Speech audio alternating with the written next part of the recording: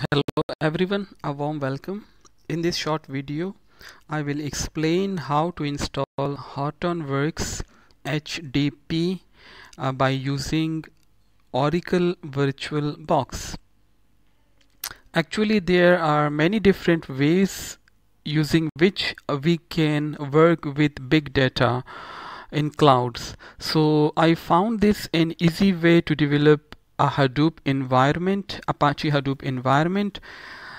The Hortonworks sandbox will provide you the whole Hadoop ecosystem, the different components, the different services that are required to work with big data and the analysis of big data. So why this is an easy way to work with the to work with the Hadoop environment because uh, using this way you will not need to install the individual components and establish the connections among them. So the first step is to download VirtualBox or VMware. I am using VirtualBox so I will recommend you to use the VirtualBox for for this work. So the first step is to download the VirtualBox. You can download the VirtualBox from the official website that is virtualbox.org. Uh, the the latest version available is 6.1 you can download it for Linux operating system for Windows for Solaris and for Mac so the choice is your I am using Linux so I have already downloaded the VirtualBox. our next step is to uh, create an account on the Cloudera. Why we need this account? Because Hortonworks uh, previously it was a software company which has now been merged with the Cloudera. And actually they are offering different products. One of the product is HDP Hortonworks data platform which we are going to install in a moment. So you would need an account. The account is very simple. You have to register yourself. That is a two-step process. You have to fill the form and submit the form and you will receive a verification email and then you are done. I have already uh, make my account here. So there is no need to to to make another account. After making your account you have to log in from here into your account and then you have to click on the products. From here you have to select the downloads option. From the download sections uh, section you have to select the Hortonworks sandbox. So click on the download the Hortonworks sandbox here you will see different options different components different services. So we are interested in Hortonworks HDP HDP stand for Hortonworks data platform. So you have to download it from here. Click on the download now. The option that we have selected is Hortonworks HDP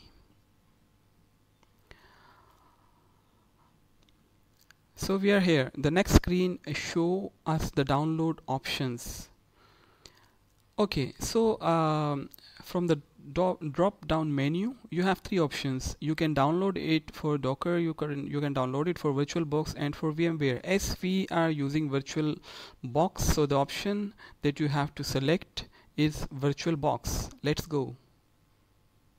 Accept the terms and conditions, submit it. You can see different uh, different versions. These are the older version. The current version available is 3.0.1. So I have the latest version already installed on my system. So select the same. Let me warn you about one thing. The size of the file that you are going to download is more than 20 GB wow it's a huge uh, file so definitely it will take some time so I have already downloaded the file. Let me show this is the file that I have already downloaded and you can see the size is more than uh, 22 GB right? So after downloading the file the next step is to import the file into the virtual box. So open your VirtualBox. What you will see is uh, is an interface like this so you to import the file you have to click on the file and then select import appliance from here. After selecting import uh, you have to select the local file system and then uh, you have to give the location to the downloaded file. So this is the location open it and then you have to select the import option. Well after importing the file it will take some time because of the size of the file right? So I have already imported the file. Let me show you how it is.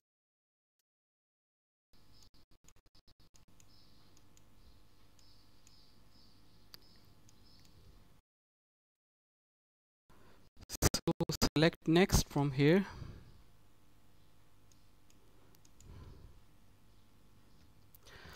you will see different options. Uh, you don't need to change anything. Red Hat is the Red Hat Linux that we are interested. Okay one thing uh, that you need to change is the size of the RAM. It depends on the current RAM that you have available. For example if you have 8 GB uh, RAM so you can give like 4 GB RAM to the uh, to the installation purpose. And then you have to import the file after importing the file what you will see is something like this So after importing the file Hortonworks Sandbox into the virtual machine, it will looks like this. But remember, it will take some time while you are importing the file. After importing the file, you have to start the virtual machine by clicking over this button.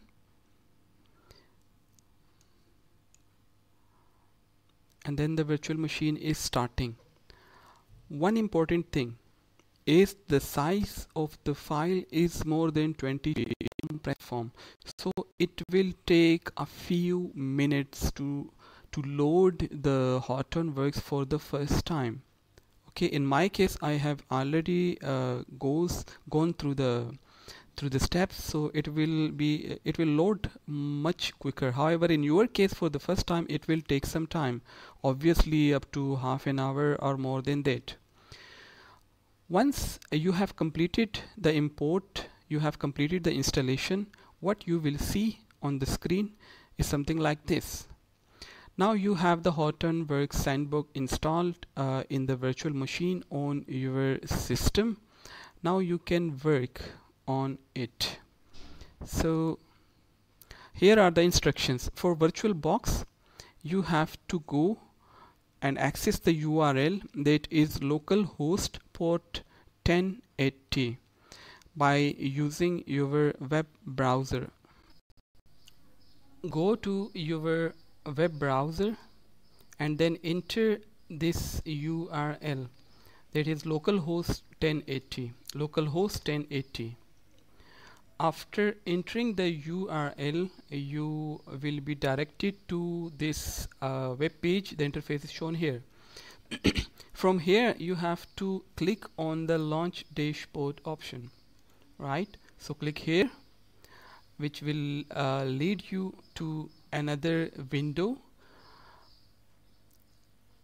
Okay uh, remember one thing if you are using for example Firefox then you would need to enable the pop-up because uh, when you click on the launch dashboard it will open extra pop-up windows. So you must need to enable pop-ups while you are using your web browser for example Firefox or, or uh, Google Chrome. So you need to enable them. Once you click on the launch dashboard the URL that uh, the the pop-up will be displayed which is shown here. So it will ask you for username and password. I uh, at this stage you will you would need uh, to uh, to log in with a universal username and password and that is Raj underscore a OPS R A J underscore OPS is the username and same is the password. And then you need to click on on the sign in button which will lead you to the dashboard Hadoop ecosystem dashboard. So wait a moment and then you will uh, be redirected to the dashboard available to you okay uh, as I mentioned in the start of this course that Hadoop ecosystem contains a huge number of services and all the services are mentioned here for example HDFS, Yarn, MapReduce, H, uh, HBase, Hive, Pig, uh, Zookeeper, Storm, etc. So all are the services are mentioned here in the left panel, right? So this is your main environment. All the services are available, and as I mentioned in the start at the start of this video, this this approach is very effective because you will get the all the services in one place. So you see by using this approach uh, you get access to all of the services that are required to work with your big data or with your cloud environment right? One more thing. Uh, I will mention here and that is important you would need another login. And that is by using the URL localhost 4200 so again you have to open your web browser and this time you have to enter the URL localhost 42 so this is the uh, URL that I have entered in the web browser. Press enter. And this will open the client side in order to access the Hadoop ecosystem by using SSH right? Here uh, you would enter simple commands to work with your data okay?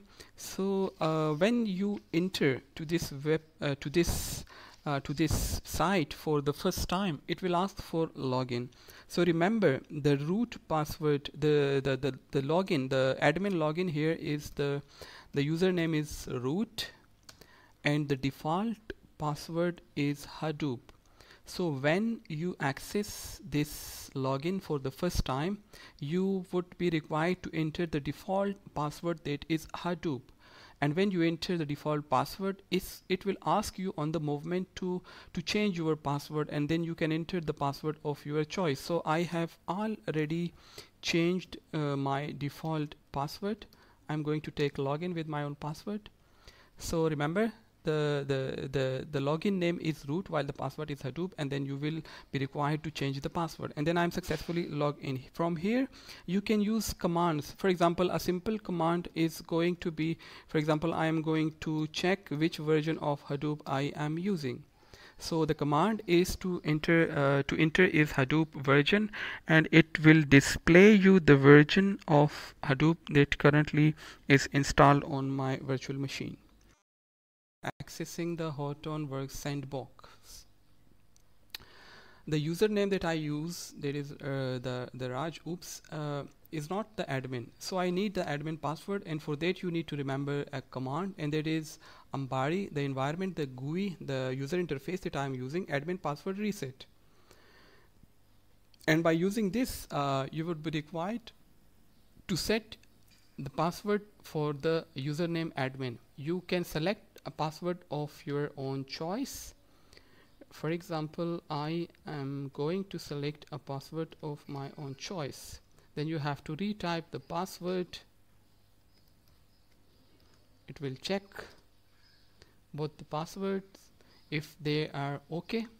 It will start the server in order uh, to in order to configure the setting. So it will take a while it will start and stop the server Ambari server. So let us wait for a moment again. Now you see the message. The admin password has been set. It will restart the server to make the password change effective. Restarting the Ambari server. It will take a while to restart the server and then when it the, the, the steps are completed you have to go back to the to your dashboard.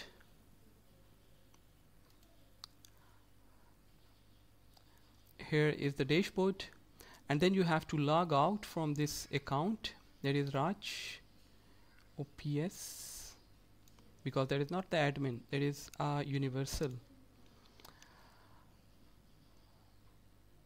once you are logged out of the system you would need to log in again but this time with the username admin and the password that you have selected. So I'm going to log in again. So this time I'm going to log in as admin. I need to provide the password. Click on sign in and then here is the dashboard. It is the same dashboard same services however the difference is here. This time I have more privileges. Now here you can see all the services. As an administrator you ad, as an administrator uh, you can start and stop different services.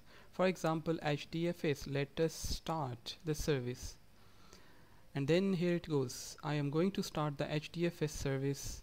And also all the services are starting are started in the background as well previously. So now as an admin I have started and it will take some time. So let us uh, see some more explore this dashboard. Here is an option which is important and that is files views this is actually the files views of the HDFS which is the file system of the Hadoop right? You will see different folders here. You can also create your own folders. You can move the file from your local system to your cloud okay? So uh, as the service is not started yet so it will take some time to do some other operations. For example creating a folder moving files and so on so this is how we install the Hadoop in uh, in an easy way by following the sandbox uh, installation. I hope you have learned something from this video and I hope you would be able to install your own sandbox at your own virtual machine next in the next video we will explore some commands related with the HDFS and other things okay? So till then uh, stay safe and take a good care of yourself. Bye